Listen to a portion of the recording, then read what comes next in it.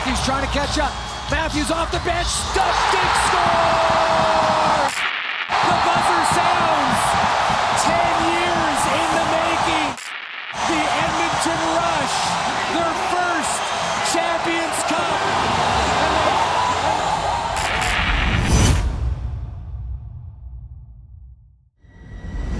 Rumor that Saskatchewan may become home to a pro sports team. It's official. The Edmonton Rush are moving to Saskatchewan. When we knew that uh, Saskatchewan, Saskatoon was an option, to me it was that's where I want to be. The Rush are moving to a city of 250,000. Will Saskatoon and the rest of the province support professional lacrosse?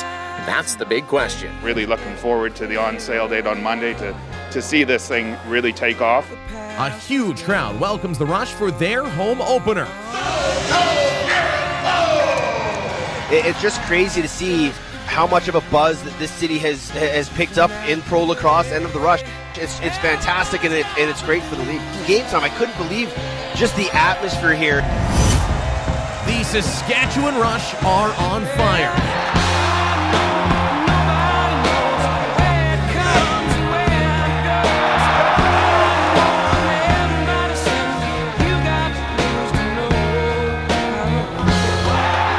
Just an incredible sight to behold of a team in their first year in this new city that's not really your prototypical lacrosse hotbed. Yeah. And to see it thrive so well, uh, you just, I, I'm just in awe. Over 15,000 jam packed in a SaskTel Center, and the Rush have united this entire province. With attendance records and a second straight West Division crown behind them, the Rush now set their sights on the Buffalo Bandits in the Champions Cup final.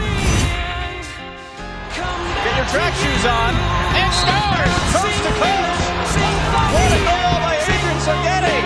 Zach Weir turns invisible, scoots through the defense and sneaks it by Anthony Cosmo. Now Curtis Knight is mugged. Greer, and he puts another one in the net. Zack Greer with the feed got Cosmo moving. Saskatchewan wins game one, 11 to 9. Rush over the Buffalo Bandits.